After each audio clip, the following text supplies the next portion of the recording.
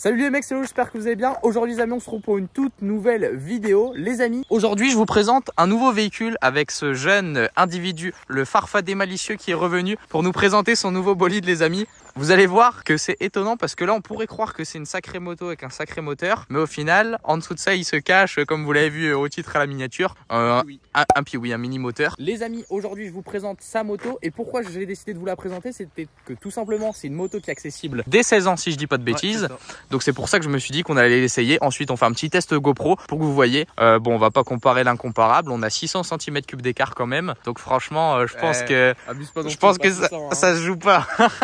585. Du coup les amis avant que cette vidéo commence, n'hésitez pas à vous abonner à la chaîne, à mettre un petit pouce bleu, on est bientôt 200 000. On peut se dire que quoi, à 2500 pouces bleus, je vous représente une 125, peut-être une Duke, peut-être une MT, à voir avec Yamaha pour présenter une MT 125 parce que ça existe. Donc voilà, dites-moi ce que vous en pensez, on se retrouve en commentaire et c'est parti pour présenter la 125 CB, Euh, 125 CBR. CBRFZ, ils aiment Non, bien rajouter des lettres. Les amis, avant qu'on commence la présentation, je vous parle rapidement de Surfshark VPN. Les amis, qu'est-ce que ça vous permet de faire? Est-ce que dans ma communauté, il y en a qui regardent tout simplement la Formule 1 ou qui regardent les séries aux États-Unis? Si jamais vous le faites, vous allez pouvoir utiliser Surfshark VPN. Donc, c'est un VPN qui vous permet de sécuriser votre connexion Internet, de tout simplement passer d'une IP française à une IP aux États-Unis, au Canada. Si je vous dis ça, c'est que moi, je l'utilise personnellement pour regarder la Formule 1. Vous savez qu'en passant sur d'autres pays, vous pouvez avoir l'abonnement en Formule 1 qui est totalement gratuit. Si je vous parle de ça, c'est que vous avez aussi la possibilité de combiner avec l'offre One qui vous permet d'avoir un service euh, de garantie antivirus en plus que vous pouvez installer. Ce qui est bien avec ce VPN, c'est que vous avez la possibilité avec un abonnement d'avoir plusieurs appareils. Donc tu peux avoir un abonnement pour toute ta famille, tu peux même le partager à tes proches. Donc ça, il n'y a pas de souci. Lorsque vous êtes en France, de commander par exemple, je sais pas, des avions, des voitures dans d'autres pays, là où c'est moins cher. En fait, moi je l'utilise pour regarder euh, des épisodes euh, des US en fait, tout simplement. C'est des mecs qui réparent des voitures. Diesel Browser pour ceux qui connaissent les mecs, ou d'avoir Netflix Netflix aux US parce qu'il y a des séries qui sont pas disponibles. Moi franchement les mecs, je l'utilise de ouf pour regarder tout ce qui est séries aux États-Unis, dans les autres pays. Tu te prends, tu te mets sur le Mac, tu te délocalises. Vous avez la possibilité de choisir entre plus de 60 pays. C'est ça qui est pas mal. Vous avez une IP cryptée, donc ça va vous permettre aussi de pouvoir vous délocaliser, de sécuriser. Si jamais vous allez à la gare et vous vous connectez au réseau euh, public, vous allez pouvoir avoir une connexion sécurisée sans risquer de vous faire pirater les données. Donc vous pouvez l'utiliser sur Mac, sur Android, iPad, tablette, téléphone, tout ce que vous voulez. Vous avez trois mois offerts avec l'offre Léonade les amis. Le lien est en description. Merci à Surfshark d'avoir sponsorisé cette vidéo et on repart à la présentation. CB 125R ou CBR 125R. je- Voilà, c'est ça. Bon, bref, c'est un 125 de chez Honda. Donc voilà, je te laisse euh, la présenter. Déjà, on va commencer par l'année Euh, 2019. 2019. Impeccable. L'équipement qu'il y a dessus, parce que déjà, il y a une ligne d'échappement. Du coup, montre-nous un petit peu ce que c'est. Je viens de découvrir, regarde. Ah ouais. non, ça va, c'est Ah, ça va, ça part. Donc, ligne complète Léo Vince. Léo. Vince. Léo, Léo.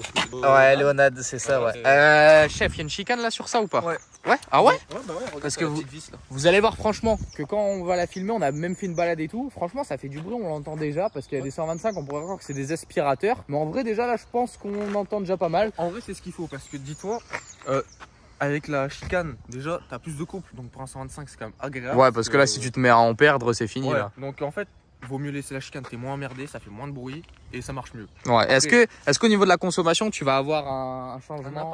Bah, en entre chicane et sans chicane? Si t'as plus de couple, je pense que. Ouais, donc forcément, ok. Bah, ouais, je sais pas. Après, niveau consommation, ça ce qui est bien, c'est qu'il y a la au litre au 100. Ouais. Alors, on va regarder. En même temps, on va présenter le poste de pilotage parce Attends, que franchement, attends, pour une moto 125, franchement, de 2019, ça a de la gueule parce qu'ils ont, ils ont quand même fait un progrès. Parce que si on parle des 125 à l'époque, en mode t'avais quoi à l'époque en 125 en- tu parles en sportif Genre, genre un, un CBF 125, ça existe, c'était moche, t'avais aucune dégaine. C'est école ça. Bah voilà, c'est ça. Que là, maintenant tu vois ça sur la route, bah en vrai de vrai, maintenant, ça voilà, les 125, ils ont plus tendance à se rapprocher limite d'un gros cube, quoi. bah, d'un gros cube, ouais, c'est ça. Bah, dis-toi, euh, chez Honda, ils font la même en 650, je crois. Ouais, c'est ça en Donc- fait. Maintenant, il y a que le châssis qui Euh, va changer. Enfin, voilà. le châssis reste le même, c'est que le moteur. Je t'assure, la taille, je crois, c'est pareil. hein, parce qu'il y a juste le moteur et la fourche qui est en double disque. Mais Ok. Sinon, il n'y a rien d'autre. Ouais, donc au final, tu peux changer le moteur et voilà, c'est une moto. Ouais. C'est ça. Donc au niveau du poste de pilotage, Donc voilà. on va avoir Comme d'habitude, un Komodo, tout ça. classique. Par contre, ils sont vachement gros, c'est un truc de fou. Ouais, le klaxon. Le klaxon, il est T'as envie immense. d'appuyer dessus pour mettre les clignotants après, tu prends l'habitude, ça va. Ouais, Mais, ça va. Et euh, du coup, ça, ça- c'est quoi? Ah, ça revient. Non? Non, il Attends. revient pas. C'est euh, bah, c'est comme toi, quoi. Bah, pourquoi il.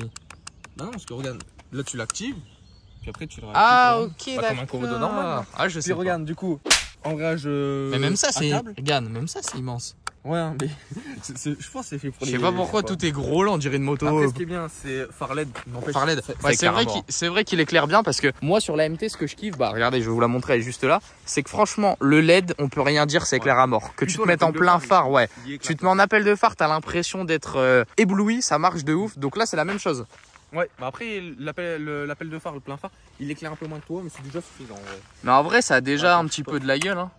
Tu vois, la petite signature lumineuse. ouais franchement c'est stylé hein. Et du coup. ouais en tu nous disais embrayage à câble Mais regarde, regarde comment il mou. alors attendez on va faire un petit test euh. Même un hydraulique, je crois. ah ouais c'est vrai que ah ouais il est pas dur du tout hein. il est- Et regarde, du coup, signature. euh, ah oui le compteur le compteur Euh, signalétique euh. Ouais, voilà. Ride, ouais. voilà, attention. Ah ouais en fait il y a quand même pas mal d'infos Ouais, donc bah ouais. Jauge d'essence, Voilà. t'as l'heure, t'as le compte tour, t'as les kilomètres, ton Ouais. trip. Ça, tu peux le changer ou pas? Euh, Attends, c'est où t'as que tu pas le de changes? commando, Ah, si, ça doit être là, ouais, non? voilà. Ah, voilà, c'est ça. Donc là, tu peux changer. Là, si t'as jamais ton- il y a- Oh, la 10 000 piles Putain, eh. Attends. Là, là, t'en fais un de plus, c'est fini. Là, faut la mettre à vendre. Là, fais l'annonce. Attends, attends, voilà, on, fait l'annonce, on fait les photos d'annonce. Fais, fais l'annonce de suite. Ah ouais, 10 000, 10 000 piles le jour Et- de la vidéo. Bien sûr, je savais pas que. Eh, c'est improbable. On s'arrête, 10 000 piles. C'est dinguerie. aussi le litre au 100 là, 2 litres 7. Ah ouais, 2 litres 7 Le Rossan. réservoir, je crois, c'est 10 litres. 10, 10 litres je Ok, donc un plein, maintenant, c'est au 98 ou au 95 Euh, De l'éthanol carrément. De l'éthanol. ouais, non, non, 95, 98. Ouais, donc peu importe, t'es environ à euh, 20 balles le plein Ouais. 18 Ah, on va dire en moyenne, tu mets 10 litres. euh, Tu mets 10 litres, ouais. Et ouais. tu fais combien de kilomètres avec ça au niveau de l'autonomie? Qu'est-ce que ça donne? Je peux pas dire, je pense en vrai, t'es dans les 300.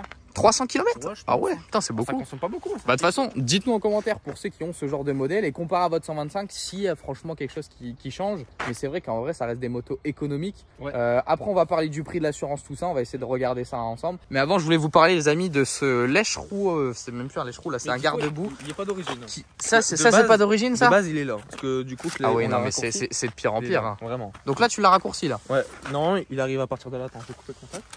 Hein, il arrive à partir de là, puis la plaque elle est plus basse. Genre elle arrive là. C'est un truc de fou.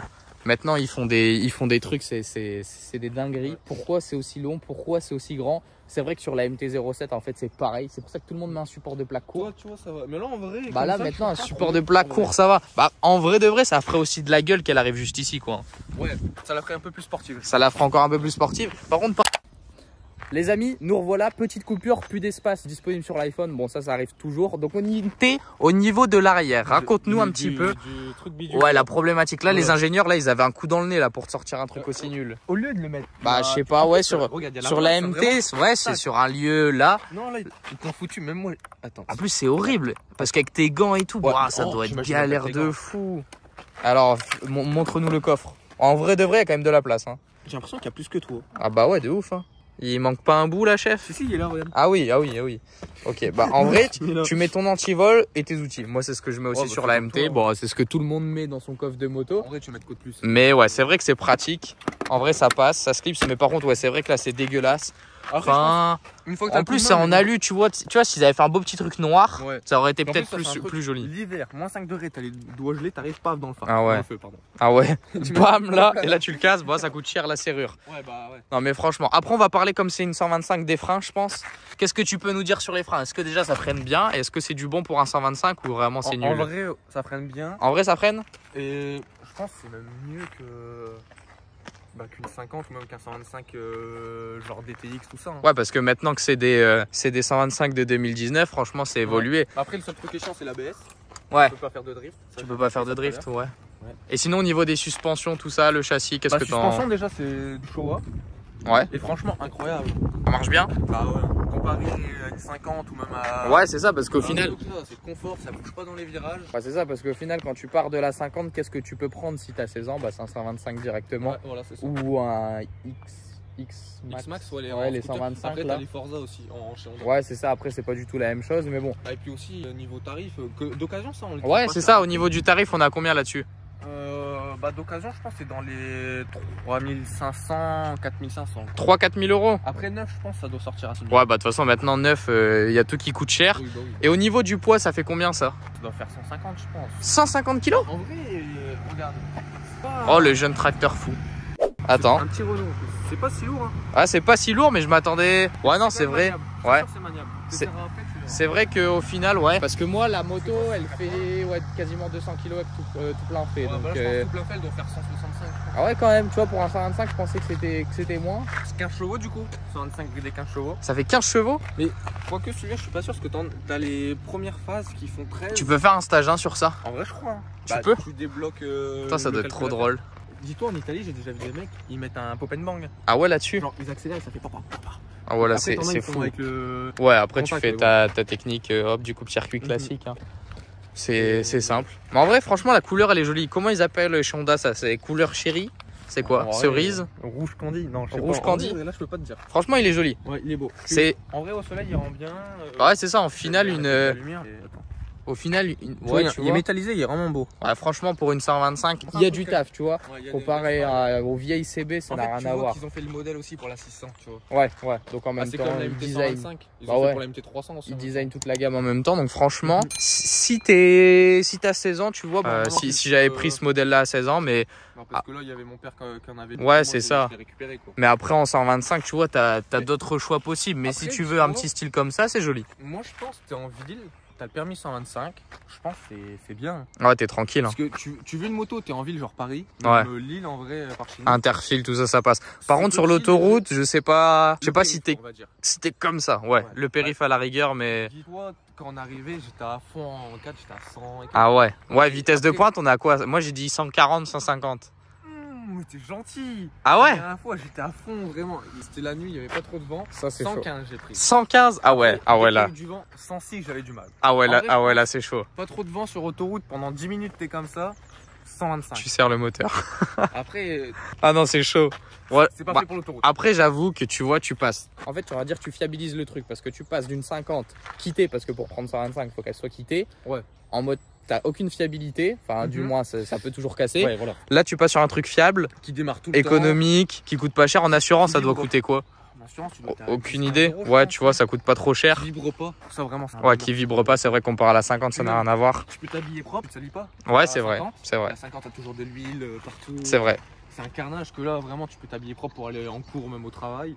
C'est impeccable. Mais ouais, mais c'est vrai qu'en 125, tu vois, toi, ce qu'on avait présenté, le gaz-gaz, Ouais. ça n'a rien à voir, tu vois. Non. Ça, ça c'est un véhicule de tous les jours. Ça, c'est un daily. Voilà. En moto, ça consomme pas. Ça fait le taf, c'est joli, c'est mignon, c'est une petite gueule. On pourrait croire certainement que des gens, euh, ouais, ouais, tu vois, qui connaît que pas, qui gros sait cube. pas Ouais. que c'est un 125, Je pense il- dit. euh. Tu vois, moi, ça me fait penser au 390 Duke.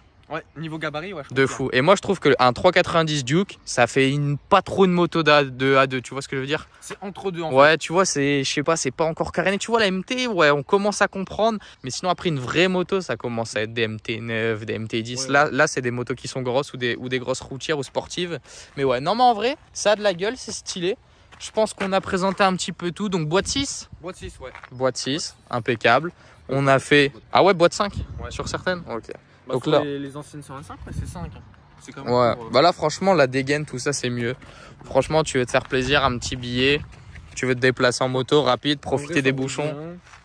C'est. Puis en vrai, il y a moyen de s'amuser. hein. Tout à l'heure, dans les courbes. En euh, vrai ouais je pense que tu t'amuses un petit peu. Bon la taille des pneus, euh, ouais, Ah, c'est pas... qu'un 50, on va dire. Ouais c'est sûr, mais c'est vrai que le pneu avant on dirait un pneu de vélo. Ah, je- Attends, c'est C'est le pneu Euh. du Between 340. Ah ouais, il y a moyen. Putain, c'est plus ouf.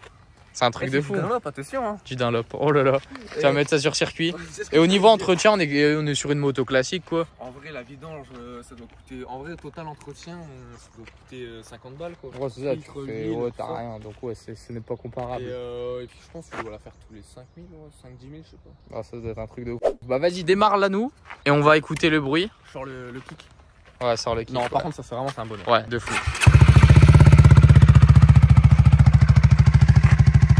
Ça chantonne un peu. Ouais.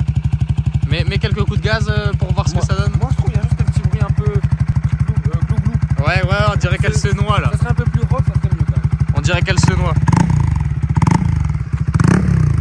Waouh, attention. Ah, je te jure. Ah, mais c'est vrai que. et Est-ce que là ça monte Ah oui Et à 7000, t'as le voyant blanc là. Bah, tu Ah verras oui. tout à l'heure euh, quand tu le seras. Incroyable.